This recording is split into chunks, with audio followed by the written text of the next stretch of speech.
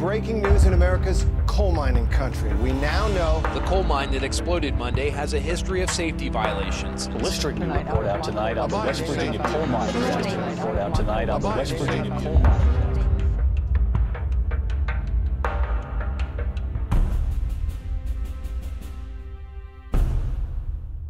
On April 5th, the United States suffered the worst mine disaster in more than a generation.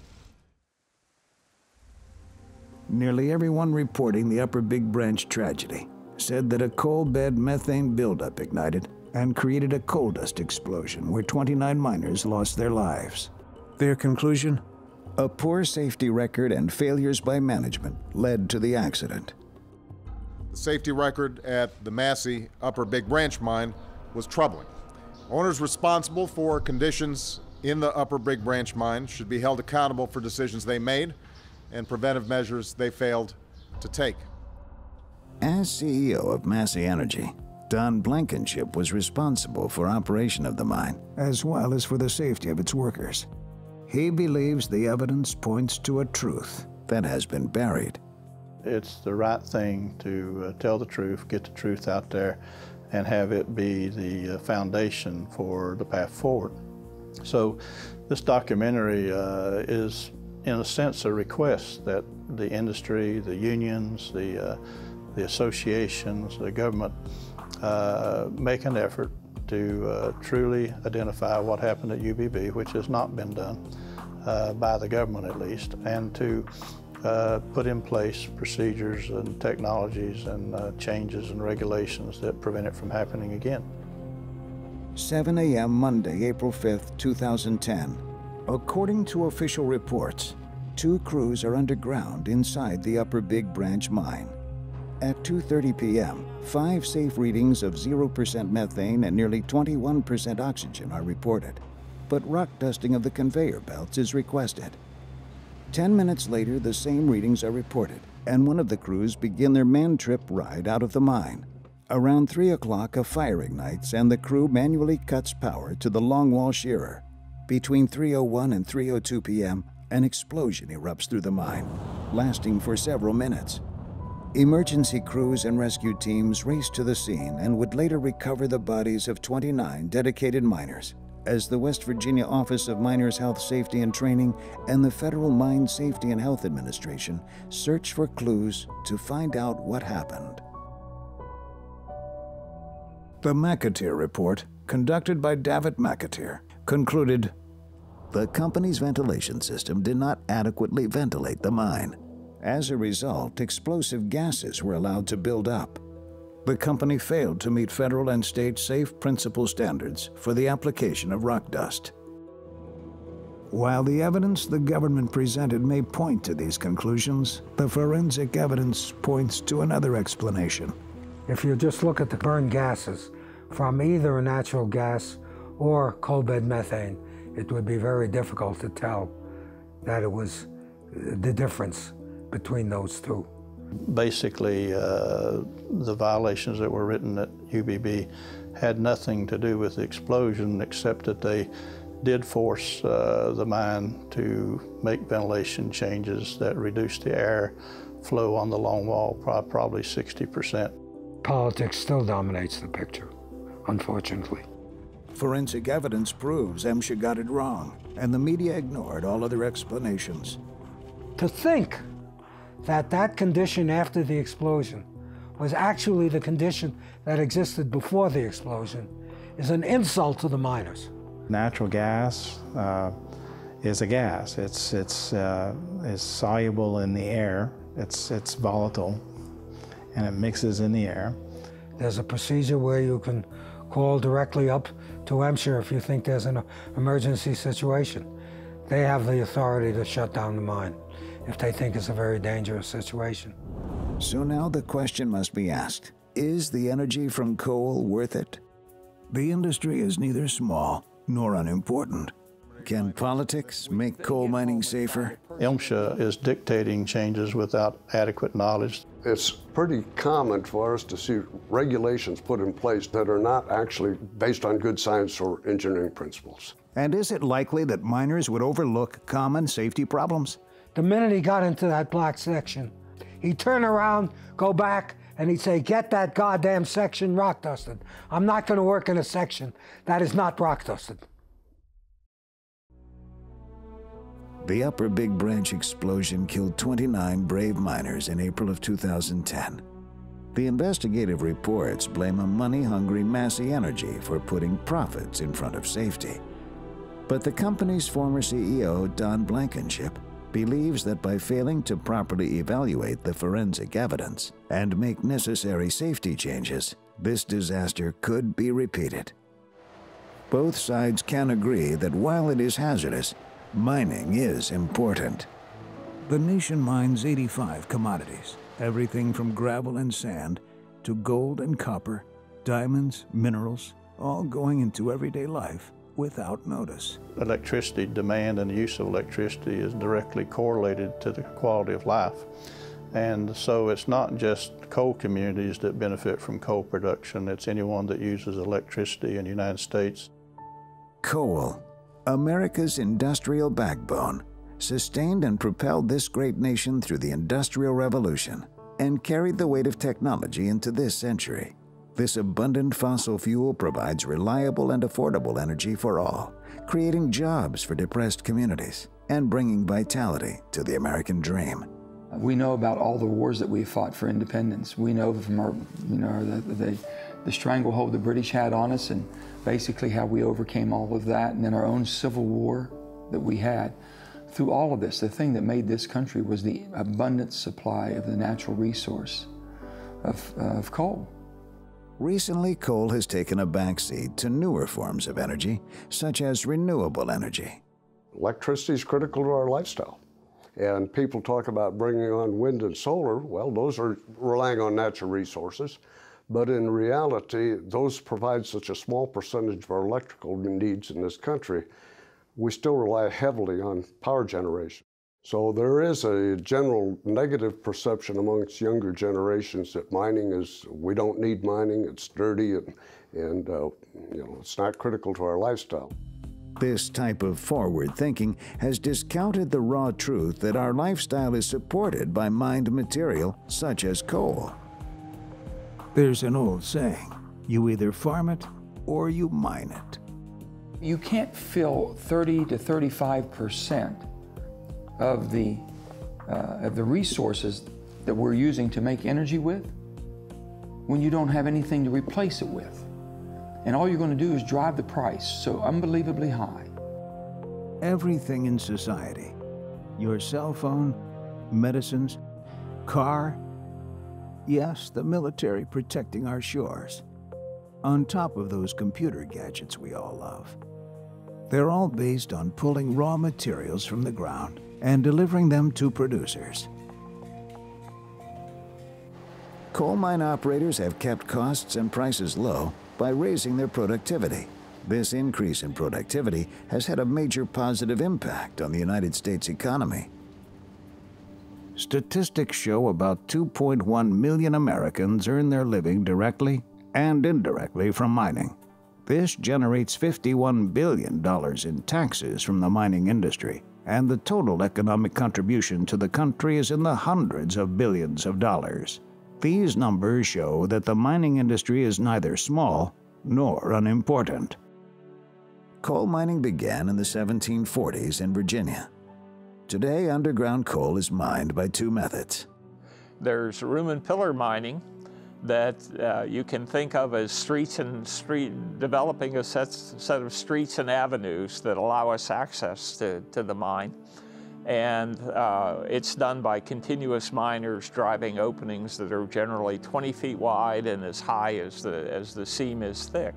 The Upper Big Branch mine was a different kind, known as a longwall mine. Uh, we mine blocks out that are typically 1,000 to 1,500 feet wide and typically two miles long. We put a giant cheese slicer, essentially, at one end of it with that has a row of supports above it. And this cheese slicer just comes back and forth and back and forth, and, and the coal is literally mined continuously. As coal mining technology has progressed, so too has technology to protect those who work underground. Mining's been going on in the United States for a couple hundred years. Some of the early practices we don't uh, condone today. Ear protection wasn't a common practice in a lot of the mining operations. So respiration, dust control was not a big issue. So you had a lot of black lung disease. All of those things we've learned more about and have taken measures to minimize the impact of, you know, miners. Uh, dust control is a huge part of our mining operations anymore. Mining ventilation is a constant concern in mining safety. One of the most important tasks for mining engineers is to get enough fresh air into the mine for the machines to operate properly, and most importantly, for the miners, who require a safe environment in which to work. The ventilation system is designed in such a way that you can dilute and render harmless any methane that's emitted from the coal seam as you mine it. In addition to ventilation, other technology helps protect miners. If methane levels get too high, methane detectors mounted on mining machines will automatically shut these machines down until the air is cleaned by the mine's ventilation system. Well, here's the thing on some machineries today, you know, they have sensors on them. Everything is done to minimize the accident incident rate and actually send that miner home safely at the end of the day. Statistically, mining is among the safest industries in the United States. It's safer than retail, safer than many forms of manufacturing, and safer than many government jobs. Mining differentiates from these industries in that when accidents of high severity happen, there tend to be worse outcomes with more severe injuries and even fatalities. 29 miners lost their lives and two were injured in the explosion at the Upper Big Branch mine in April 2010. According to the United States Department of Labor's Mine Safety and Health Administration, known as MSHA, the tragedy was caused by a massive coal dust explosion that was secondary to a methane gas ignition. MSHA claims that this was because of a pattern of safety violations at the mine. The culture of the normalization of deviance. The company had gotten away with so many, a gradual approach over a number of years, gotten away with so many infractions of standard safety practices that it became normal. Although Upper Big Branch was a non union mine, and the miners at Upper Big Branch twice voted not to unionize, the United Mine Workers of America, or UMWA, weighed in on the disaster. And I think it's something that I should point out to you. And we call this pretty much uh, industrial homicide. Union President Cecil Roberts reads further from the UMWA report. The path of the explosion, aided by poor ventilation, ineffective water sprays, excessive, excessive accumulations of float coal dust, and inadequate rock dusting sealed these miners' fate. This is the account reported by the government, the UMWA, and the media. However, many independent experts tell a different story, one that is based on forensic evidence. The government's case against Massey Energy seemed flawless, but what scientific evidence disproves a coal dust explosion? It inerts it. It's like spraying water on a fire. The fact that you have such a high amount of uh, methane and ethane seems to suggest that it's some other gas. Has politics made mining more dangerous? At UBB, the uh, ventilation plan, which Joe Main, the head of MSHA, testified in front of Congress was not their plan, was the only plan we could get them to approve. The Upper Big Branch explosion claimed the lives of 29 miners. MSHA believes that the evidence points to three major failings by Massey an unsafe level of coal dust in the mine, inadequate rock dusting, and poor ventilation. But these conclusions rest on only a portion of the evidence, disregarding key details. MSHA claims that high levels of methane from the coal bed served as the original fuel for the explosion, which then caused a secondary coal dust explosion. But the coal bed is not the only possible source of methane. MSHA's own experts found more than just methane in their readings at the Bandytown fan, the primary exhaust port where the entire ventilation system of Upper Big Branch exited the mine. Coal bed methane is released during the normal process of mining coal, but forensic evidence points to another form of gas leaking into Upper Big Branch, and it too is highly combustible. Yeah, they're both the same phenomena. Small amount of higher hydrocarbons still gives you an explosion. But the characteristic signal of a deep reservoir is higher concentrations of the heavier hydrocarbons. The coal seam by itself, when you do analysis of the methane emitted from the coal seam, you get mostly almost completely methane, pure methane. On the other hand, a reservoir of natural gas deep below the coal seam will give, give you typically a signature with higher, much higher concentrations. Forensic evidence indicates that natural gas inundated the mine through a crack that was found in the mine's floor. It's a very rare uh, occurrence, but apparently there must be a high pressure reservoir somewhere near there where there's actually an inflow, a, a massive inflow of gas from a nearby, uh, apparently, gas reservoir. Although there were cracks in the floor at Upper Big Branch, and despite Massey's insistence that they not be disturbed until they could be fully evaluated, MSHA refused these cracks to be fully evaluated. It is likely that natural gas inundated the mine through these cracks. If there's a failure of the strata, the natural, natural gas reservoir at a high pressure, once the strata failed, would eject at an enormous uh, amount there'd be, it'd be a huge disturbance. It would hiss. Not only would it make noise, but it'd kick up lots of rocks from the crack through which it's flowing. MSHA states that Massey was insufficiently rock dusting the mine. Rock dusting is the mandatory spraying of mine surfaces with pulverized rock to help prevent coal dust combustion. Normally, coal dust is explosive, so the regulations require that be inerted with rock dust to about 80%. It's usually limestone, pulverized limestone, fine enough size so that it cools the flame and prevents propagation. It's like spraying water on a fire. The government's investigators say that Massey had a poor safety record and put profits before safety. However, there are some questions about some of those investigators. According to a report, a search warrant was executed on McAteer's law office in February 2012 in connection with a fraud investigation being conducted by NASA and the Department of Labor's Office of Racketeering and Fraud. He was also arrested on November 5, 1999 for DUI and leaving the scene.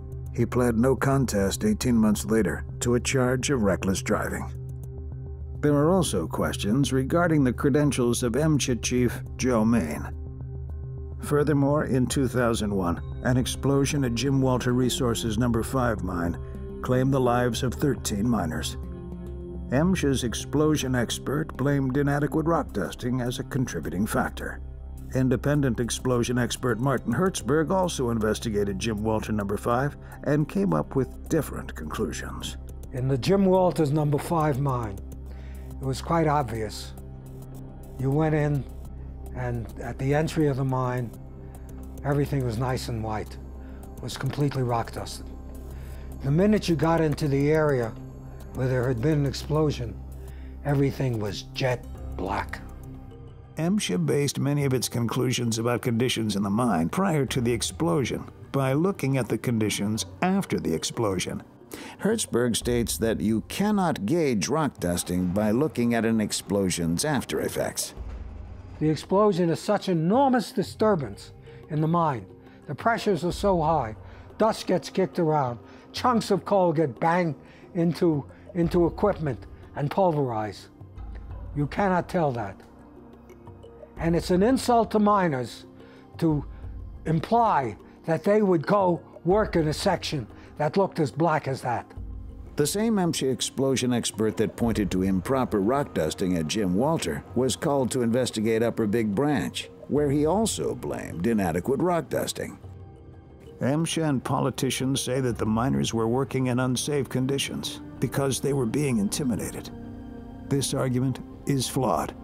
The minute he got into that black section, red flags would go up. He'd turn around, go back, and he'd say, Get that goddamn section rock dusted. I'm not going to work in a section that is not rock dusted. That's enough evidence to tell you that you cannot determine conditions that existed before an explosion by conditions that exist after the explosion. MSHA claims that Massey's ventilation plan was subpar, but Blankenship says that it was, in fact, MSHA's plan, and that the mine exploded just days after their requirements were fully enacted. At UBB, the uh, ventilation plan, which Joe Main, the head of MSHA, testified in front of Congress was not their plan, was the only plan we could get them to approve. So they're able to say they don't write ventilation plans, but the truth of the matter is they don't approve any ventilation plan that they don't favor.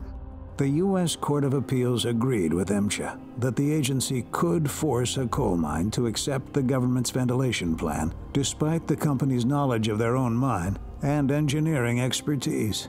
What you find is that, that the person will never put anything in writing other than the fact that, that he's rejected the plan, but then he will orally tell the people what, what it is that they have to put in the plan. So they end up putting a plan in that's not really their plan, it's his plan.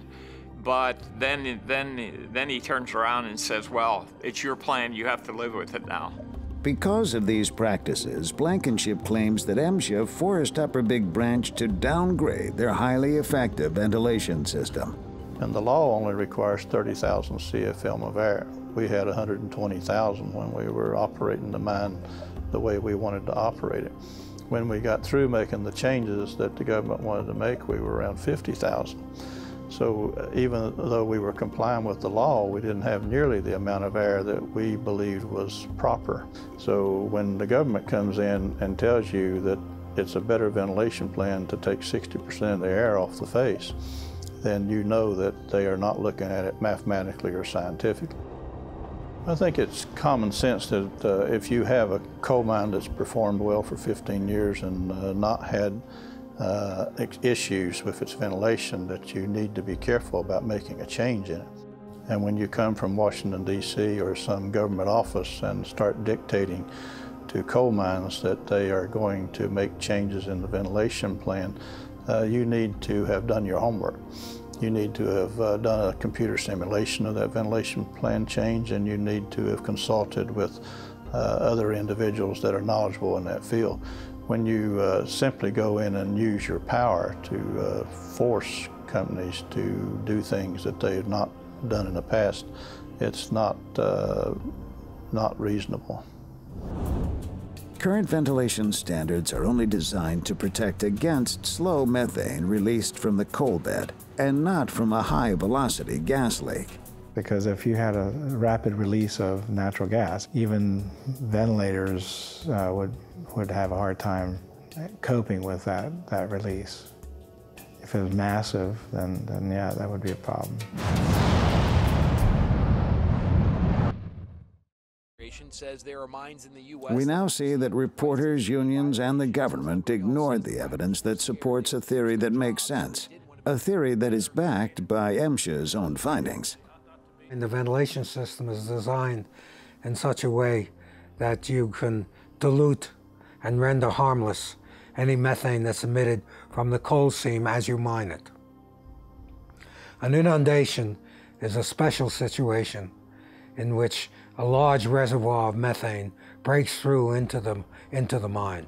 We typically have methane gases associated with coal mining. We do have incidents that are geologic anomalies, as we call them, that we didn't anticipate. Going forward in a mining operation, you may end up with a, a fault or a, a fracture system that is full of gas, more than the typical rock would have.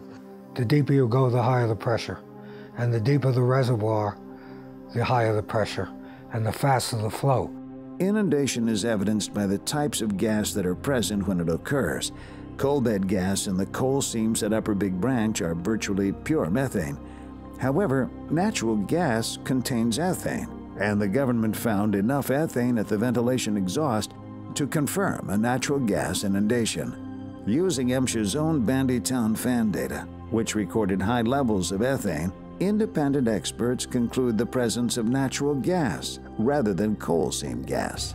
The fact that you have such a high amount of uh, methane and ethane seems to suggest that it's some other gas. This is more like a natural gas. It looks like natural gas. From what you've given me, it seems reasonable that the natural gas could be the cause of this.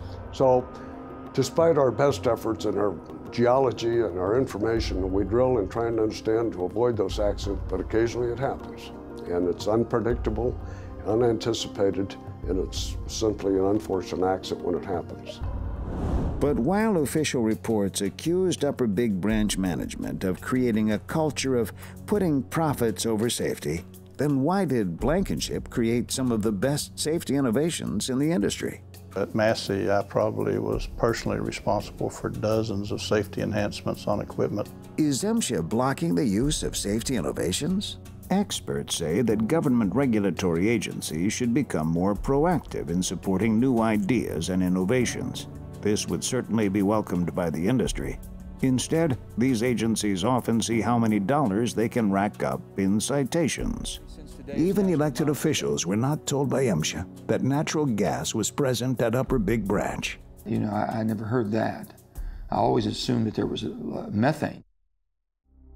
That I'm in favor of increased production. We have to plan for the future.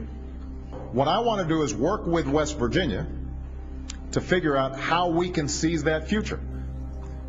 But to do that, that means there's going to have to be some transition. We can't operate uh, the coal industry in the United States as if we're still in the 1920s or the 1930s or the 1950s. We've got to be thinking, what does that industry look like in the next hundred years? After the Upper Big Branch accident killed 29 miners, the U.S. government added more regulations for mining, which are meant to protect miners and to promote a safe work environment. But experts are concerned about how these rules are developed. We have a regulatory system developed in the 70s with dates from the 60s, 50s, and earlier.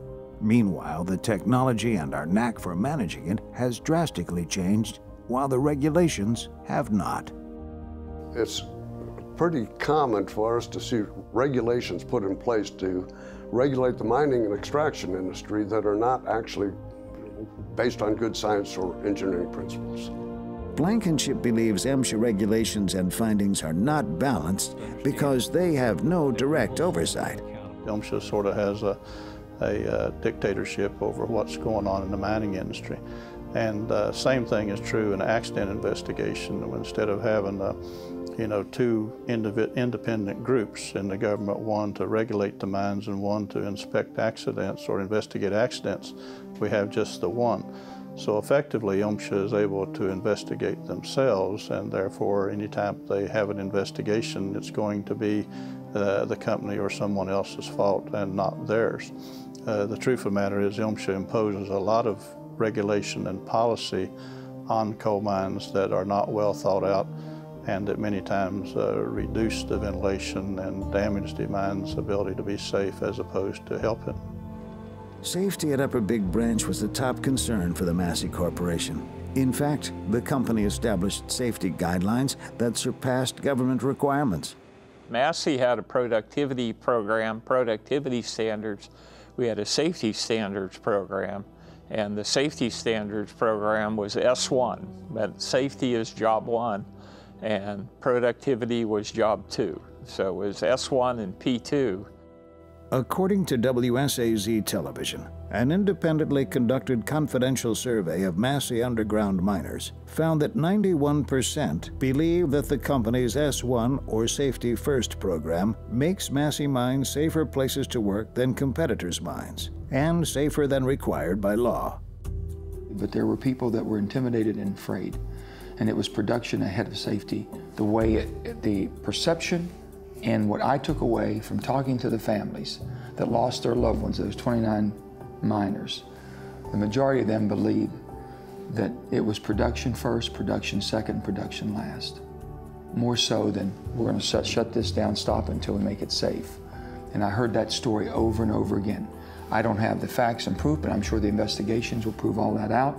At Massey, I probably was personally responsible for dozens of safety enhancements on equipment, things as simple as reflective clothing all the way up to uh, staircases being put on large trucks instead of ladders so the men were less likely to fall off the staircase than the ladder, in addition to uh, cameras being on the equipment. I grew up in the coal mining area. I put gasoline in coal miners' cars from the time I was seven or eight years old. I played baseball in the coalfield leagues with them. I knew them very well, and so did the other people at Massey. We were local, uh, we were related, uh, we understood the issues, we knew the, the challenges, so we were very passionate about it. He never lived in Richmond, Virginia, where headquarters was, because he preferred to be in, in West Virginia and uh, where, the, where the company was actually mining coal so that he could be on, in on everything that was going on at every, every coal mine. Unlike most CEOs, Don Blankenship does not work out of a high rise in a big city. He operates out of a trailer in Belfry, Kentucky, just across the river from Mingo County. You can go through the S1, S1 book and you can see the, the, the standards that were set over and above the uh, the, the, the, requirements of the law. That, that's really what the S S1 program was all about. It was about do, doing things that were, that were above the law, not, not complying, just, not just complying with, with the law. And Don followed it up. Years ago, probably 20 years ago, I recommended to MSHA and, and others that we develop a proximity device because a lot of coal miners were being injured or killed by being hit by equipment. And the idea was to uh, put a transmitter on a belt of a coal miner that would detect the equipment near him and cause the equipment to shut down. And uh, they were very resistant and very disinterested in those types of proposals. If the government ignores these types of innovations, how can the mining industry protect miners? Some of the regulations need to be replaced or just canceled completely. It's true that industry has the responsibility, but the larger question is, will the government take their responsibility to support the industry's efforts in safety? We owe them action. We owe them accountability. We owe them an assurance that when they go to work every day, when they enter that dark mine, they are not alone. They ought to know that behind them there is a company that's doing what it takes to protect them, and a government that is looking out for their safety. But if a tragedy can be prevented, it must be prevented. That's the responsibility of mine operators, that's the responsibility of government, and that is the responsibility that we're all going to have to work together to meet in the weeks and months to come. Well, it's a hollow promise. You're not going to prevent accidents from happening unless you fully understand what caused the accident. Uh, experts in the field of chemistry and geology and, and people with a lot of experience in mining and uh, gas production agree that this was a natural gas explosion. It's clear uh, that it was, uh, and unless we accept that it was a natural gas explosion and, and get away from the political agenda, we're not going to make the improvements in mine safety that are necessary to keep the political promise that this will never happen again. We can sit here and blame the sins of the past, or we can try to fix it. And I'd rather try to fix it because I can't, I can't go back in time and change it, but I can make sure we don't repeat it. Many experts believe if new regulations are created based on popular theories instead of sound science, mine safety will not improve. The media, Congress, and the average person find it hard to fathom that MSHA and other regulatory agencies don't have the right regulatory design. That realization has to come first. And so it is uh, necessary that the government and the industry uh, study the geology in and around UBB and other mines that are having these massive natural gas inundations and try to determine what geological characteristics lead to these types of inundations and then to try to uh, foresee their happening and then to try to formulate uh, ideas and policies that would prevent an explosion from occurring should they happen. Experts agree that rules are necessary, But experts insist rules should never be for rule's sake. There has to be a bottom line. Regulations are simply not structured to keep bad things from happening. They need to change. MSHA doesn't have a research scientific technology department. It's, it's designed to, to make laws and enforce them upon, upon the coal industry to obey the MSHA law. And if you do that, you, you, the assumption is that you're safe. But common complaint among mines, MSHA emphasizes very small matters and doesn't focus on the big issues. Uh, it's just like the UBB explosion. There's so much that was learned and so much more that could be learned and that could be done to make a natural gas explosion less likely, but uh, the government's more focused on politics and, and on uh, maintaining their power over coal companies than they are on actually improving coal miner safety. Blankenship believes that MSHA's decision to reduce airflow at Upper Big Branch was irrational and says that MSHA has many irrational policies, such as the forced idling of continuous miner scrubbers. You're cutting the coal, which creates dust, with a, uh, a machine, and when that dust is sucked in to a, uh, you know, like a vacuum cleaner, and that air passes through a filter and simply, simply comes out the other side. So uh, a good part of that dust collects on the filter. And it has two or three positive effects. One is it increases visibility, which is always important. Two is it prevents the dust from getting in the lungs and causing black lung. And three, it takes that uh, coal dust out of the return airways, which reduces the chance of an explosion. And respirable dust is what causes the lung problems uh, when, when you're mining. And why in the world they would want, they, they would force a company not to, not to run that scrubber is beyond me. MSHA continues this policy, even today. I'm not aware of that. I'm glad you've made me aware of that, and I will check into it. I was not aware that they're shutting down basically the scrubbing on those. This MSHA mandate forces miners to shut off equipment that they know protects their own health and safety.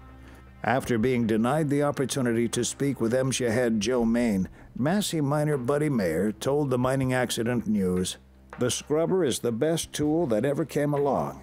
I've already put in 32 years, but these younger guys are breathing dust all the time, and they're going to suffer black lung. Yet he ain't got a couple minutes to talk with us. There's no logic that I can find in MSHA requiring mines to shut those scrubbers off. Speaking to the same publication, Massey miner Sean Turley said, You almost feel like a guinea pig. Without dust controls on these continuous miners, all the coal miners are breathing in dust the whole shift. Those scrubbers took away that problem. It just don't make sense. Some of the regulations need to be replaced or just canceled completely. They change rules about things like belt air and bleeding of the gob and uh, firebossing and so forth unilaterally and without it being well thought out. And oftentimes it's to the detriment of coal miner safety instead of to the benefit. They uh, have come to perform more like a police force trying to catch someone doing something wrong as opposed to bringing a, a separate set of eyes to the mine to help find a better answer or to point out issues that need to be corrected. Many times it causes a lack of focus on true issues. While blocking some innovations such as scrubbers, MSHA is also simply not supporting others. Blankenship believes that modernized mapping of old underground mines would dramatically improve safety, but MSHA is not pursuing it. Probably a great example of uh, the government and MSHA being behind on technology is in mapping. Uh, you know, we still have very inadequate mapping in the industry. We had the incident of people cutting into gas wells, cutting into old mine works. And because we don't have these maps digitized and in a centralized database, you know, the Mine Safety and Health Administration simply hasn't been, if you will, an advocate of uh, the use of technology to improve safety. The media, the government, and the unions accuse Massey Energy of putting profits above safety. But Blankenship knows that safe mines are profitable.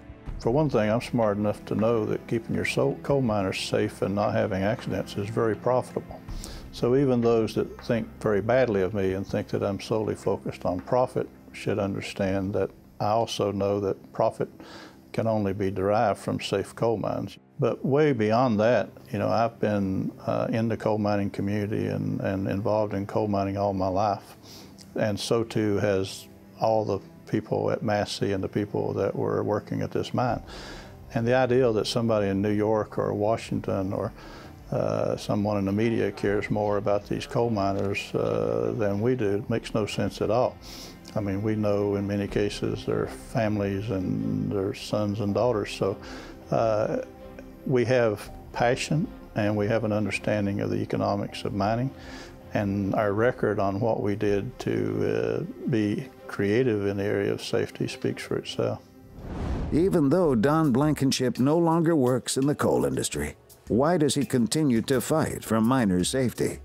And if you recognize that over the over the years, that was a, a very important part of, of Don's character, is that he wanted uh, uh all, all, all people to be treated as human beings.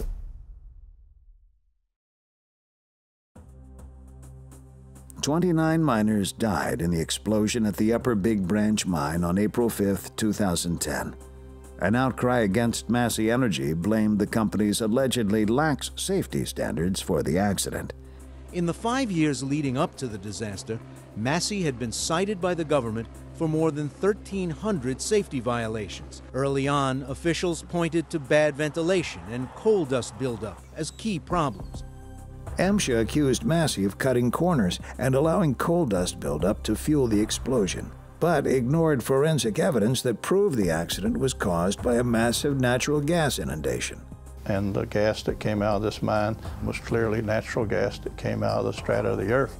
MSHA accused Massey of improper and insufficient rock dusting, in effect questioning the common sense of every miner. The minute he got into that black section, he'd turn around, go back, and he'd say, Get that goddamn section rock dusted. I'm not going to work in a section that is not rock dusted. MSHA failed to account for the force of the explosion when accusing Massey of faulty rock dusting. Dust gets kicked around, chunks of coal get banged into into equipment and pulverize. MSHA's own inspectors reported the mine to be sufficiently rock dusted in the weeks and days prior to the accident. Moreover, they neglected to report that they required the company to change its original ventilation system, decreasing its performance by 60%. And the law only requires 30,000 CFM of air. We had 120,000 when we were operating the mine the way we wanted to operate it. When we got through making the changes that the government wanted to make, we were around 50,000. In the months prior to the explosion, MSHA inspectors spent an average of 7 hours 15 minutes per day in the mine. In spite of this, they never addressed their own responsibility for the safety of the mine before or during the time of the accident. When asked to comment about their findings, MSHA refused to be interviewed for this documentary because of Don Blankenship's involvement.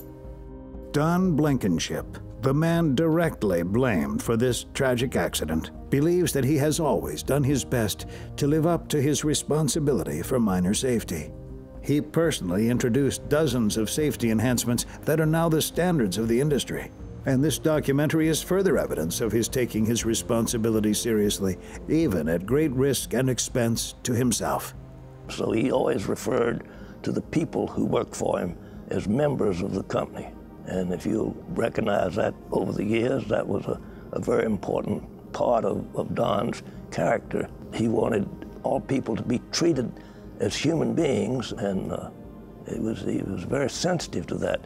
He was one of those members. And that's why he, he lived with and, and, and it lived in the same environment there in the, in the coal communities. The purpose of the documentary is to uh, try to get people to focus on what actually happened at UBB and to make improvements in the safety of coal miners. Don also hopes that this documentary will encourage today's mining companies, the government, the United Mine Workers of America, university engineering professors and students, consulting experts, and industry associations to do the same. The United Mine Workers and the Mine Safety and Health Administration are living in the past. You know, they don't, uh, see things for what they are because they're blinded by their dislike for business and their dislike for certain individuals, and they don't look at the physics of things and the technology. That's the most important thing, that we recognize that accidents happen, they can be prevented, but they can't be prevented with propaganda and politics. They can only be prevented with uh, physics and technology. The uh, best way to honor the victims of UBB is to uh, base ongoing policy and safety procedures on the truth of what happened at UBB. Uh, first of all, we need to recognize that the victims at UBB were good people and they were doing the best they knew how. Uh, what is incumbent upon us now is to learn more and be able to use this accident uh, in honor of them to formulate better safety practices going forward. In the UBB case, uh, it's clear to me we had a natural gas explosion and that nothing that the industry is doing is going to prevent it from happening again, despite the politicians' promises to the contrary. And uh, that's what this documentary is all about, that if you're truly going to improve coal mine safety or industrial safety or even environmental stewardship, you first have to know what happened and what you can tangibly uh, do that will prevent it from happening again. If we don't do any more than we've done, UBB will happen again.